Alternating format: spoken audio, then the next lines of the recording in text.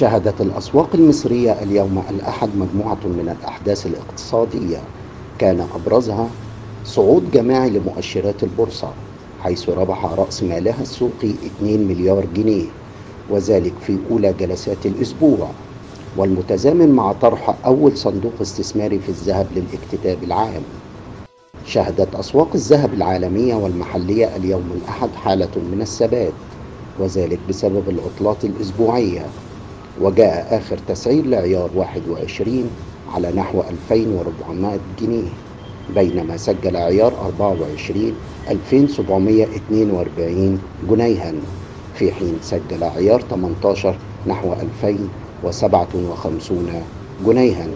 من ناحية أخرى طرح البنك المركزي اليوم الأحد أدوات دين حكومية بقيمة 40 مليار جنيه. كما شهد اليوم قيام وزير البترول بوضع حجر الأساس لشركة شمال أبو قير للمغذيات الزراعية.